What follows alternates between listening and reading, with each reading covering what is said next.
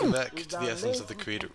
My name is Yaakov Yitzchak, and in the spirit of the upcoming holiday, Passover, I will attempt to, hopefully, participate in ending this final exile. It's we're, it's, we're taught that from the Baal Shem Tov that when the teachings of Chassidus, of the deeper aspects of Torah, spread out to the whole world, then immediately Mashiach will come. So all we have to do is spread the teachings of Torah to the whole world, and then we'll see what happens. I'm excited. Basically, there's a couple teachings. There's many teachings, but there's a couple teachings that I think are pretty vital for everyone to know about Chassidus. And they have logical reason, reasoning, but the first one is really based on because people like me believe it be, mainly because the Lubavitcher Rebbe said it. But there's also logical explanations for why it makes sense. And that teaching is in a packet that the Lubavitcher Rebbe gave out in the year 57, 52, that talked about the importance of the building 770 Eastern Parkway. You may have heard of it.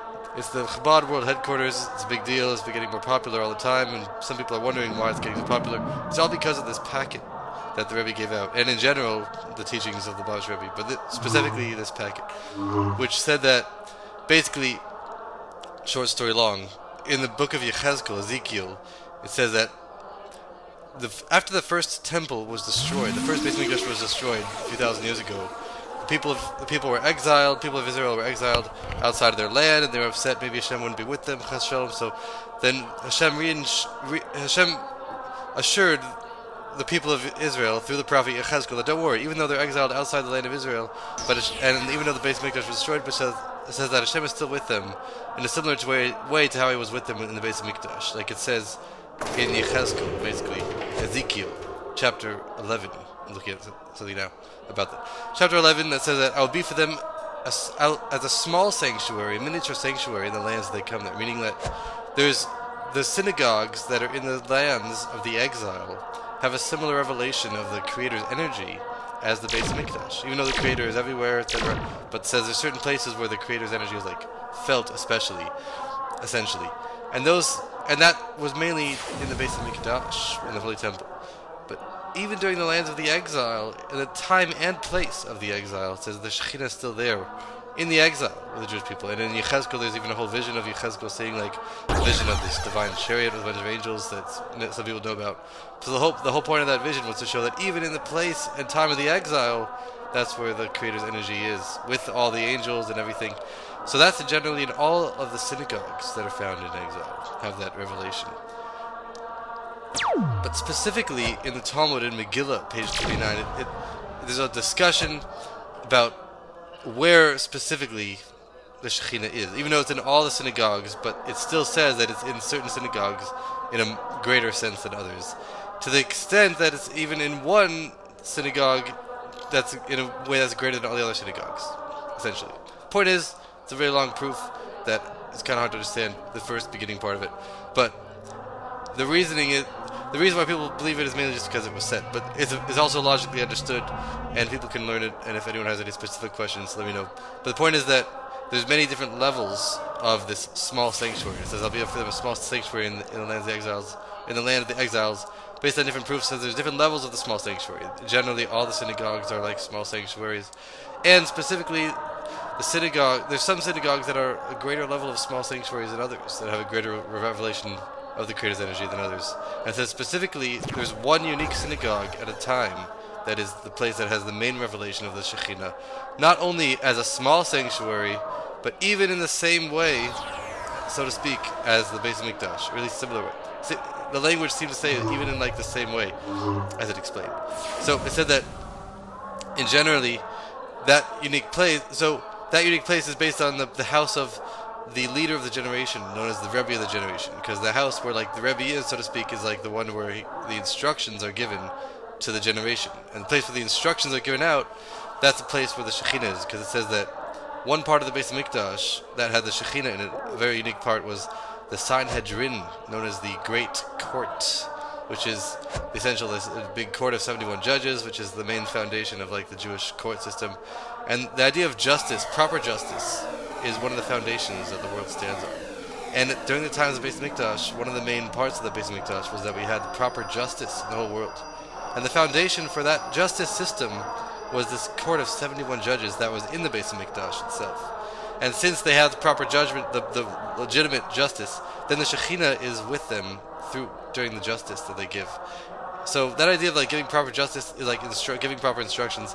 That's by the Sanhedrin, but it says a similar thing by every generation. It was like the leader of the generation gives pr- practical instructions to the generation. So that's a similar idea of the Sanhedrin. Ex- this is all explained in the talk.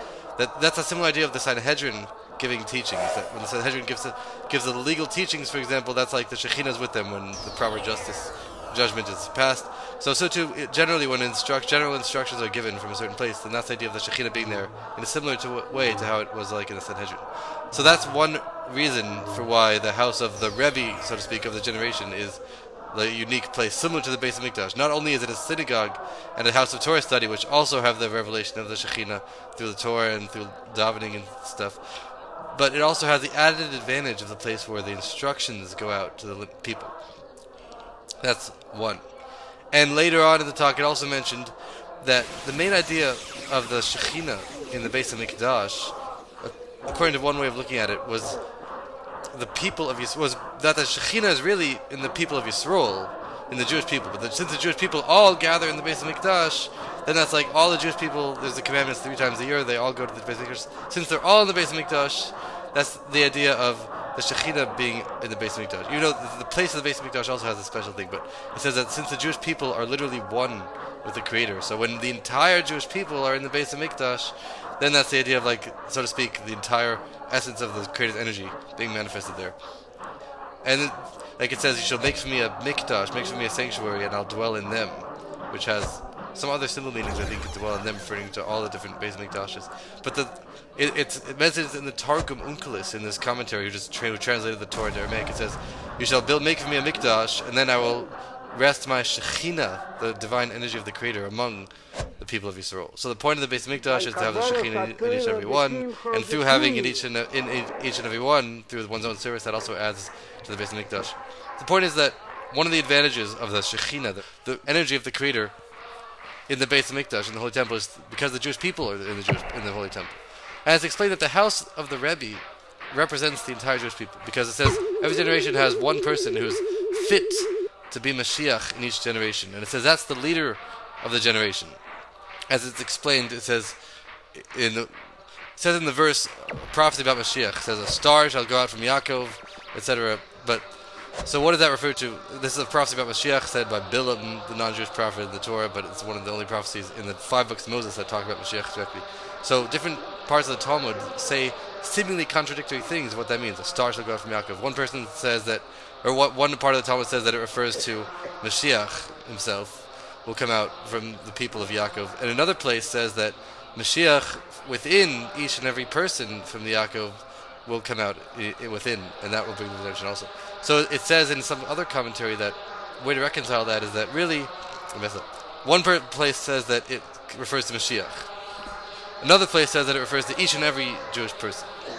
So a reconciliation of that is that really in each and every Jewish person there's a spark of the soul of Mashiach that's within, which is called the Yechidah, the essence of the soul, which is connected to the general soul of Mashiach. The general soul of Mashiach is that which the soul that includes all of the other miniature sparks of the Yechidah that are found in each other specific Yid. And I was trying to think, I think it might also apply to even the Gentiles also and perhaps the whole world. The Yechidah generally is the essence of the soul that's connected to the whole world. The point is that the house of the Rebbe is the house where the Rebbe has the general Yechidah, the, the, the general soul that includes the entire Jewish people. And that idea of including the entire Jewish people is similar revelation to the Beis Mikdash. So, as explained there, so the, the, the house of the Rebbe is the place like similar to the Beis Mikdash. And it says that, just like it's similar to the Sanhedrin, it says that Sanhedrin was exiled to ten places. And also it says Chabad was exiled to ten places throughout Russia and Poland, etc., until it came to America. And it says that the place that the, that the Sanhedrin was exiled to last is the first place that, will, that they will be gathered. So similarly, it says that the place where the Shekhinah is exiled to last in America is the first place that will be revealed. So basically, the Beis Mikdash will descend from the heavens to 770 Eastern Parkway.